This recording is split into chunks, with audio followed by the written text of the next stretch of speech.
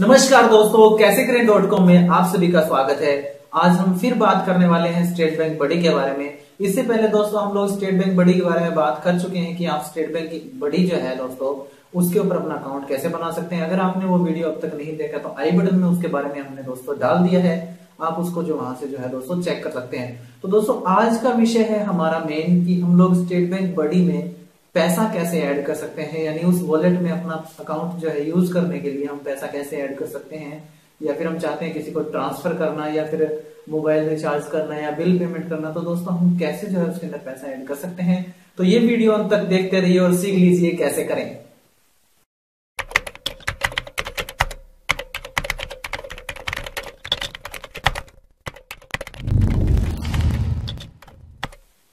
तो दोस्तों, इसके इसके लिए सबसे पहले हमें ओपन करना है हमारा स्टेट बैंक बड़ी अकाउंट जैसे हम स्टेट बैंक बड़ी को खोलेंगे दोस्तों तो हमारे से जो है वो पिन के बारे में पूछा जाएगा।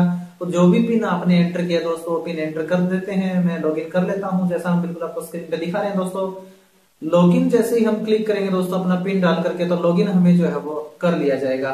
उसके बाद दोस्तों, हमारे सामने काफ़ी सारे ऑप्शन आते हैं। उसके अंदर सबसे पहला जो ऑप्शन है वो एड मनी उसे हम क्लिक कर लेते हैं, क्योंकि हम चाहते हैं पैसा ऐड करना।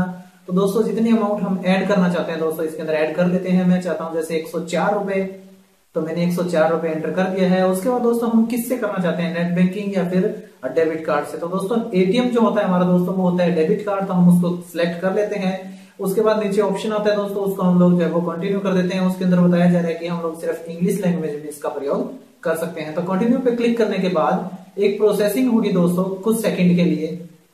उसके बाद दोस्तों आपको उस जगह लेकर के जाया जाएगा जहाँ पर आपको अपने एटीएम यानी डेबिट कार्ड के जो नंबर है दोस्तों वो एंटर करने हैं।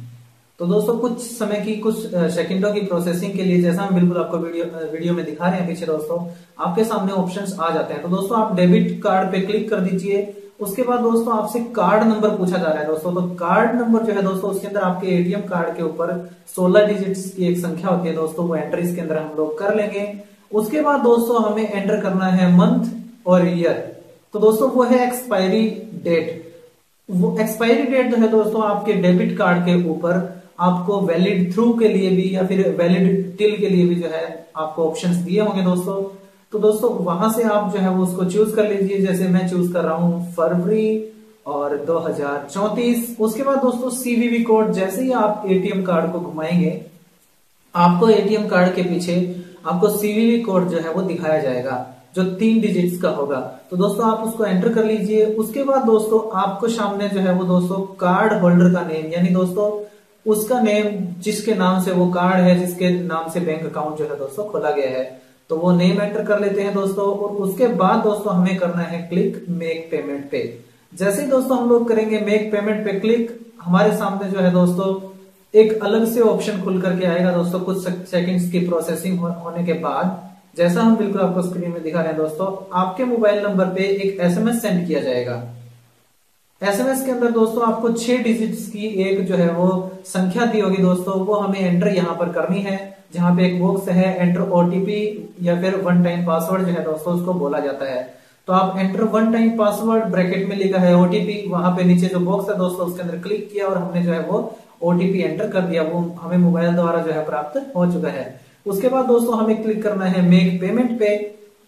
जैसा हम बिल्कुल आपको स्क्रीन पे दिखा रहे हैं दोस्तों मेक पेमेंट पे जैसे ही आप क्लिक करेंगे दोस्तों, आपके सामने एक प्रोसेसिंग होगी कुछ सेकंड्स के लिए। उसके बाद दोस्तों आपके पास जो है वो मैसेज भी आ जाएगा कि आपका जो पैसा है दोस्तों वो डिटेक्ट हो चुका है। अगर दोस्तों आपका एटीएम कार्ड इस समय कहा जाए कि बैंक द्वारा आपका एटीएम कार्ड डिक्लेन कर दिया गया है दोस्तों your payments are declined by the bank तो दोस्तों, हमने आई बटन में एक वीडियो डाली है, जहाँ से आप जान सकते हैं कि अगर आपका स्टेट बैंक का या फिर किसी बैंक का जो है एटीएम कार्ड अगर डिक्लेंड है तो दोस्तों, उसके बारे में आप कैसे जान सकते हैं? तो दोस्तों, जैसे ही कुछ सेकंड्स की प्रोसेसिंग के बाद आपके सामने जो है ऑप्शंस आएँगे और आपके सामने दिखाया जाएगा कि your money added to wallet successfully जी हाँ दोस्तों, आपको जो है माई बैलेंस का जो ऑप्शन है दोस्तों, वहाँ पर आपका बैलेंस भी आपको शो कर दिया जाएगा। और इस तरह से दोस्तों, आप जो है अपने एटीएम कार्ड या फिर नेट बैंकिंग का प्रयोग करके आप जो है अपना पैसा ऐड कर सकते हैं। नेट बैंकिंग के लिए भी बिल्कुल यही प्रोसेस है दोस्तों। आपको बस अपने नेट बैंकिंग का यूज़र नेम और पासवर्ड जो है डालना है दोस्तों, और ओटीपी जो आपके मोबाइल पे आएगा, वो यूज़ करना है। तो दोस्तों, इसी तरह की खास जानकारियों के लिए हम हर रोज आपके लिए जो है वो इसी तरह की खास जानकारियाँ लेकर के आते हैं।